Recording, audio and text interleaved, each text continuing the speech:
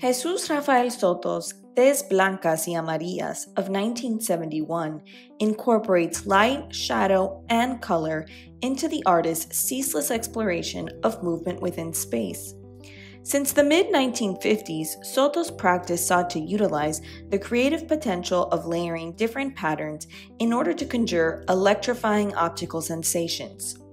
First using plexiglass, then moving to suspend rods or elements projecting from the pictorial surface, Soto found in the interaction between foreground and background a wealth of possibility for illustrating the invisible current of our universe.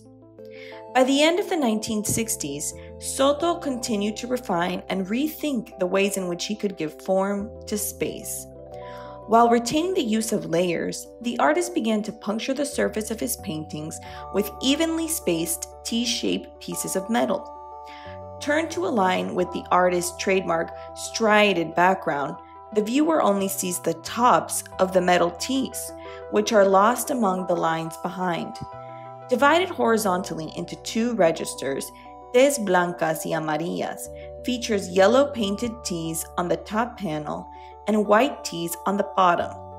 Through a mist of yellow or a glow of white, the striped background of each panel takes on distinct chromatic qualities, allowing the viewer to reflect on the interaction between units of color and their surroundings.